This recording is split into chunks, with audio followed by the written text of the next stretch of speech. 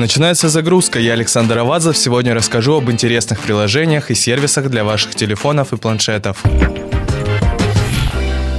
Летом, когда многие наши знакомые отправляются в отпуска, очень полезным станет приложение WordLinks. Оно может в реальном времени очень оперативно переводить различные надписи, знаки и меню. Совсем недавно компанию разработчика купил Google, и приложение стало бесплатным. В придачу появился и русский язык. Пока что приложение переводит на русский только с английского.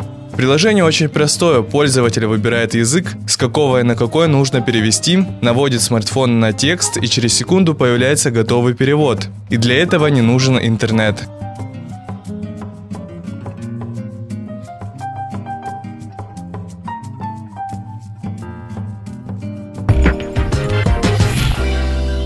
Сейчас многие озаботились о качестве своего сна. Создатели приложения Sleep Genius подошли к данному вопросу очень серьезно. Их советами пользуются даже астронавты НАСА. Приложение позволяет улучшить качество сна. Делается это благодаря особым звукам и мелодиям, для создания которых разработчики провели множество исследований в области нейропсихологии, теории сна и музыки. Приложении несколько основных функций. Будильник, 4 программы сна и короткий сон. Присутствует также режим для детей, которые страдают бессонницей. В магазинах приложений Apple и Google присутствуют всевозможные читалки электронных книг, но зачастую они не соответствуют многим критериям. Приложение Bump сочетает в себе как широкий функционал, так и симпатичный интерфейс. Кроме основной функции, приложение включает в себя социальную платформу для общения пользователей, сервис точных рекомендаций книг на основе прочитанных и понравившихся произведений, все книги, заметки, рецензии и прочая информация хранятся на сервере. И для возобновления чтения на другом устройстве достаточно запустить приложение под своей учетной записью.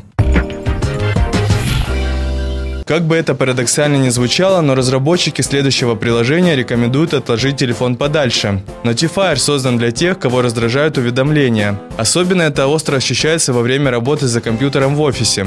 Уведомления зачастую отвлекают нас от действительно важных дел. Чтобы начать работу, необходимо установить два приложения. Одно на компьютер, другое на телефон и включить Bluetooth. После этого, как только на телефон придет уведомление, оно сразу же переадресуется на компьютер. На нем в любое время можно будет их просмотреть. Наша загрузка подошла к 100%. Новые файлы мы начнем качать ровно через неделю. Заходите на наш сайт rostovlive.ru в раздел «Стоп снято».